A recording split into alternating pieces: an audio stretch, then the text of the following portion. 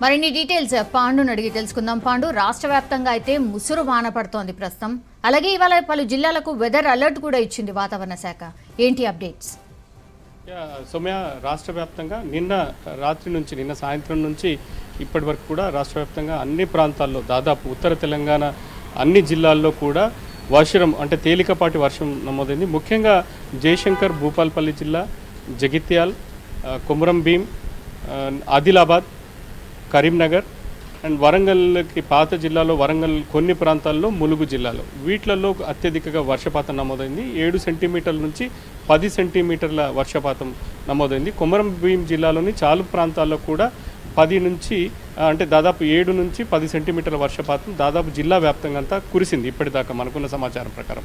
వాతావరణ శాఖ ఇచ్చిన అలర్ట్ ప్రకారం ఉపరితల ఆవర్తనం ఉన్న కారణంగా వర్షాలు పడుతున్నాయి. దీంతోపాటు ఒక అంటే ఋతుపవనాలు కూడా చురుగ్గా కలుపుతున్న కారణంగా రాష్ట్ర వ్యాప్తంగా అంతటా కూడా ఒక తేలికపాటి వర్షం ప్రస్తుతం అన్ని ప్రాంతాల్లో నమోదవుతుంది అన్నది వాతావరణ శాఖ చెప్పింది.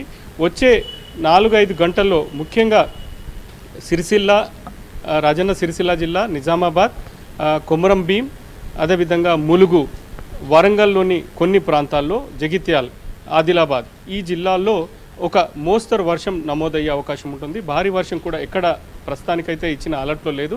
ఒక మోస్తరు వర్షం అంటే దాదాపు మూడు నుంచి ఐదు సెంటీమీటర్ల వర్ష ప్రాంతం వర్షపాతం నమోదయ్యే అవకాశం ఉంది. సో ఇది మొత్తంగా రాష్ట్రాలకి రాష్ట్రానికి సంబంధించి మరోపక్క అలర్ట్ వచ్చిన అలర్ట్ ప్రకారం ఏంటంటే రేపు కానీ ఎల్లుండి లోపు రేపు సాయంత్రం ఎల్లుండి లోపు బంగాళాఖాతంలో ఒక అల్పపీడనం ఏర్పడబోతోంది అన్నది. దాంతోపాటు అరేబియా సముద్రంలో కూడా ఒక అల్పపీడనం ఏర్పడే అవకాశం ఉందన్నది వాతావరణ శాఖ అలర్ట్ ఇచ్చింది. ఒకవేళ ఇదే జరిగితే దాని ప్రభావం వచ్చే రెండు మూడు రోజుల్లో మన రాష్ట్రం మీద ముఖ్యంగా బంగాళాఖాతంలో ఉన్న ఏర్పడిన ప్రభావం వల్ల మళ్ళీ అత్యధికంగా ఉత్తర జిల్లాల మీద ప్రభావం చూపే అవకాశం ఉంది. ఎందుకంటే వాయువ్య పశ్చిమ బంగాళాఖాతంలో ఏర్పడుతోంది ఈ వాయుగుండం అన్నారు. దాని ఇంపాక్ట్ మేజర్ ఏదైతే ఉత్తర తెలంగాణ జిల్లాలోనో వీని మీద ఉండే అవకాశం ఉంది. అదేవిధంగా అరేబియా సముద్రంలో ఒకవేళ ఉంటే ఖచ్చితంగా కర్ణాటక మహారాష్ట్ర ప్రాంతం మీద అత్యధిక ప్రభావం చూపే అవకాశం ఉంది. సో దీని కారణంగా ఏంటంటే కృష్ణా గోదావరి బేసిన్లో భారీ వర్షాలు నమోదయ్యే అవకాశం ఉంటుంది. అదే జరిగితే భారీ వరద ఇటు గోదావరికి వచ్చే అవకాశం ఉంది. వచ్చే మూడు నాలుగు రోజుల తర్వాత అదేవిధంగా కృష్ణా కూడా. ఇప్పటికే మనం చూసాం ఆల్మట్టి డ్యామ్ పూర్తిగా నిండిపోయింది. వచ్చే వాటర్ వదిలేసే అవకాశం ఉందన్నారు. నారాయణపూర్ డ్యామ్ కూడా ఇప్పటికే నిండిపోయింది. ఇప్పుడు ఏదైతే వర్షం ఒకవేళ కర్ణాటకలో భారీ వర్షం పడితే అక్కడున్న ప్రాజెక్టులన్నీ నిండిపోయినాయి కాబట్టి వర్షం ఇమీడియట్గా వస్తుంది. ఇప్పటికే మనకి జూరాలకి కూడా భారీ వరద నారాయణపూర్ అంటే ఆల్మట్టి నారాయణపూర్ ద్వారా వస్తుంది. ఇది జరిగితే పూర్తి స్థాయి అంటే ఇప్పటికే లక్ష క్యూసెక్కులు సుమారుగా లక్ష నుంచి లక్ష ఇరవై ఐదు వేల క్యూసెక్కుల నీరు శ్రీశైలానికి జూరాల నుంచి వెళ్తుంది. సో క్రమంగా ఇది పెరిగే అవకాశం ఉంటుంది. సో అదేవిధంగా గోదావరికి సంబంధించిన అన్ని ప్రాజెక్టులలో ఇప్పటికే మనం చూసాం భారీ వరద మొన్నటైంది కొంచెం తగ్గుముఖం పట్టింది. ఇప్పుడు కర్ణాటక అదేవిధంగా మహారాష్ట్రలో అరేబియా సముద్రంలో ఒకవేళ అల్పపీడన ప్రభావం అంటే అక్కడ వాయుగుండం ఏర్పడితే ఖచ్చితంగా దాని ప్రభావం ఉంటుంది. వర్షాలు భారీగా నమోదయ్యాయి. ఇప్పటికే ముంబై ప్రాంతాల్లో మనం చూస్తాం భారీ వర్షాలు నమోదవుతున్నాయి. సో ఈ గోదావరి కృష్ణా క్యాచ్మెంట్ ఏరియాలో భారీ వర్షాలు వచ్చే అవకాశం ఉంది. వచ్చే మూడు నాలుగు రోజులకి. ఇక హైదరాబాద్ విషయానికి మనం తీసుకుంటే వాతావరణం అలర్ట్ ఇచ్చింది. ఇవాళ పూర్తిగా మొత్తం దినమంతా కూడా ఇప్పటి నుంచి సాయంత్రం వరకు కూడా ప్రస్తుతం ఉన్న పరిస్థితే ఒక తేలికపాటి అంటే జల్లులతో కూడా ముసురు లాంటి వాతావరణం హైదరాబాద్లో ఉంటుంది. పూర్తిగా సాయంత్రం వరకు కూడా ఇదే పరిస్థితి ఉంది. ఎక్కడ కూడా కనీసం అంటే ఇప్పుడున్న దానిపై రెండు ఐదు నుంచి ఆరు మిల్లీమీటర్ల వర్షపాతం మాత్రమే నమోదయ్యే అవకాశం ఉంటుంది.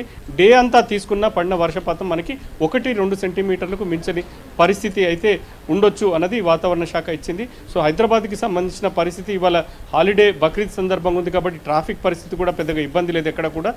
ట్రాఫిక్ కూడా సాఫీగా ఉంది. ఎందుకంటే పెద్దగా వాహనాలు లేదు. అత్యవసరమైన ఉద్యోగాలకు వెళ్ళాల్సిన వాళ్ళు మాత్రమే ప్రస్తుతం ఉన్నారు. వర్షం కారణంగా చాలామంది ఇళ్ళకే పరిమితం అయ్యారు హాలిడే కూడా దీని మీద ఎఫెక్ట్ చూపిస్తుంది కాబట్టి హైదరాబాద్కు సంబంధించిన అంటే ఇప్పటివరకు ఏం లేదు.